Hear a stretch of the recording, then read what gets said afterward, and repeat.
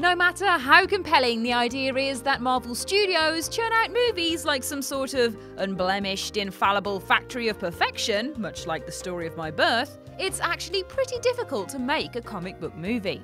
The sprawling graveyard of projects that never got off the ground or were unceremoniously cancelled partway through production should be proof enough of that, really. Because of the pressures of delivering a blockbuster, there have been some fairly high profile feuds on the set of comic book movies. And it's not just those made by Marvel. There's very much a reason why some actors like Idris Elba, George Clooney, and Josh Brolin have spoken publicly about hating working on certain productions, interestingly enough. And just as there are notorious tales from other movies of actors, directors, and even producers clashing, the comic book movie world has had its fair share of production fights and feuds. It's just that these ones come with a lot more spandex and flying harnesses. Ooh, sexy. I am the Ginger Widow Ash from What Culture, and these are 10 behind the scenes fights and feuds on comic book movies. 10. Sophie Turner versus the disrespectful co star, X Men Dark Phoenix. The most recent feud that's come to light is courtesy of the, uh, let's say, troubled production of X Men Dark Phoenix, whose road to the big screen has been less than ideal.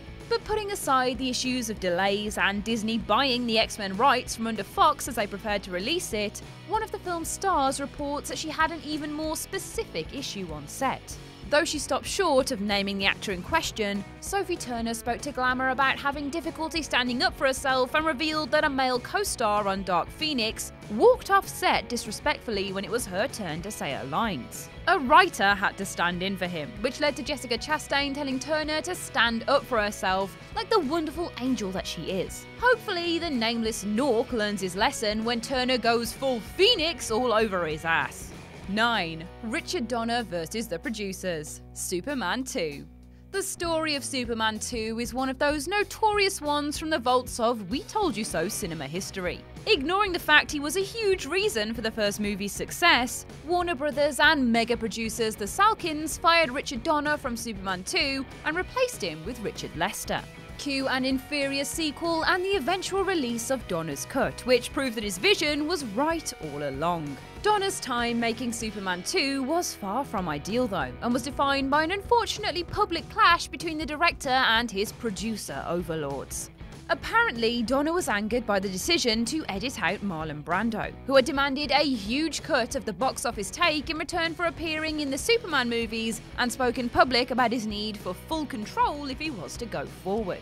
As in most cases, his suggestion of studio interference didn't go down well, and Donner and the Salkinds clashed repeatedly during production, as they had on the first movie, thanks to overspending, mostly before he was eventually fired outright. 8. Sean Connery vs. Stephen Norrington. The League of Extraordinary Gentlemen. Clashing with your director is usually a good way of making sure your part is reduced, but when you're a star as big as Sean Connery, it's probably not that much of a concern. This is the guy who turned down Gandalf after all, and it's unlikely he's lost too much sleep over anything he did in his incredibly successful career. Somewhat infamously, Connery's film career came crashing to a halt with The League of Extraordinary Gentlemen, which took a great concept and wrung out all of the joy and entertainment from it. Part of that might be to do with the feud that Connery had with director Stephen Norrington, who said he was too inexperienced. Ooh. The pair apparently butted heads over professional differences, personal differences, and anything else you can name, as Connery said and they almost came to blows with Mr. Bond threatening to have the director fired. And then when it came to marketing the film, Connery decided not to toe the line and openly said, On the first day, I realised Norrington was insane. That must have gone down pretty well. 7. Jim Carrey versus Tommy Lee Jones. Batman Forever. Despite how much of a plum role Tommy Lee Jones was given in Batman Forever, he clearly didn't have the best time. And that had a lot to do with co star Jim Carrey, who he just didn't find the right chemistry with. Which is a diplomatic way of saying he absolutely hated his mugging guts. As Carrey revealed on Norm Macdonald Live years later, there was a lot of tension. Carrey said that he was the star and that was a problem for Jones, and Muesli was uncomfortable with the style of filming. The feud, which appears to have been particularly one sided, came to a head in a restaurant during filming when he made the grave mistake of, uh, saying hello. Apparently, Carrey greeting Jones resulted in the blood draining from his face, sent his whole body shaking, and conjured up the response of, I hate you, I really don't like you, I cannot sanction your buffoonery. Which I am 100% writing down and using later. But geez, Tommy, tell us what you really think. Clearly, he thought Carrey was an acquired taste. 6. Wesley Snipes versus David S. Goyer. Blade Trinity. Blade 2 was incredible, which only makes the mess that was its follow up all the more difficult to take. Unfortunately, a good movie is often the product of a healthy production, and that doesn't seem to have been the case at all during Blade Trinity's filming. Having been the writer on the second movie, David S. Goyer was promoted to director. Goyer's attempts to change things up didn't go too well with star Wesley Snipes, though, who would go on to sue New Line Cinema for his character being sidelined as Goyer pushed new characters played by Ryan Reynolds and Jessica Biel. Co star Patton Oswalt later revealed a little more about the feud on set between Snipes and Goyer whilst they were filming, revealing that the star was a less than complicit performer. He described him as crazy in a hilarious way, saying he wouldn't come out of his trailer and would just smoke weed all day. Apparently, when Snipes tried to get Goyer to leave the film, Goyer then threatened to use a stand in since they already had all the Blade close ups. Freaked out, Snipes stayed on set but then would only communicate in post it notes like that passive aggressive roommate you had in university who refused to share milk. Yeah, Karen, I remember. 5. Ed Norton vs. Marvel The Incredible Hulk. Ed Norton gets a lot of heat for The Incredible Hulk being one of the worst MCU movies, which is somewhat unfair if you listen to his side of the story. By that account, he faced an impossible task thanks to the studio overpromising and under-delivering. It's not the last time Marvel have been accused of a slightly overzealous approach to filmmaking either. Norton revealed years later that the reason he didn't play the Hulk in the Avengers when it was greenlit, haha, get it, green, came down to the troubled production of his standalone, which failed to make any kind of money the studio needed or wanted it to. He has said he didn't regret taking the film on, but he has revealed why it wasn't a happy production for him. After the successful job he did recutting American History X, he was tasked with polishing Zak Penn's Hulk script and apparently clashed with the studio over what he wanted to do, earning him the reputation of being difficult. He's always said all he wanted was a better script, but once filming and editing started, the studio took out the new scenes he had added to the extent that his work on the final film was not substantial enough for him to be awarded even a writing credit. False promises, eh, Marvel? 4. Natalie Portman vs. Marvel Thor The Dark World. Whilst we've seen the likes of Red Skull, Pepper Potts, and General Ross all reappear in the MCU, having been seemingly written out at one point, one name remains conspicuously absent from proceedings that of Natalie Portman's Jane Foster. Despite the fact she was actually given something interesting to do in her last MCU appearance in Thor the Dark World, where she became a vessel for the Aether, she's not appeared since, thanks to a feud with the studio on that film's choice of director. Originally, Wonder Woman director Patty Jenkins was hired to make the Thor sequel, partly thanks to Portman's enthusiastic advocacy.